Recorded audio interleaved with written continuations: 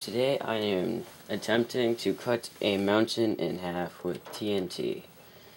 This is just to see what the hell would happen. This went down, all the way down to the ground. Uh, let's see.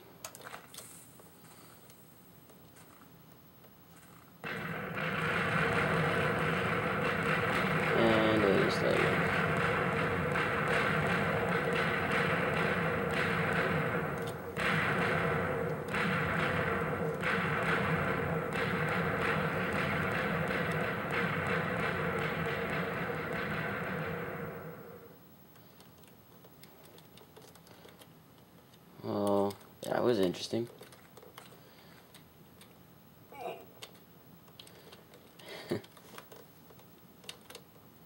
that went way down. That's just from a different explosion.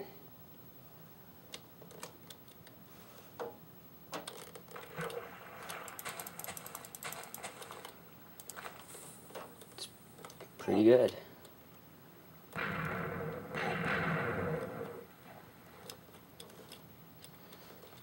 Hope you enjoyed the video.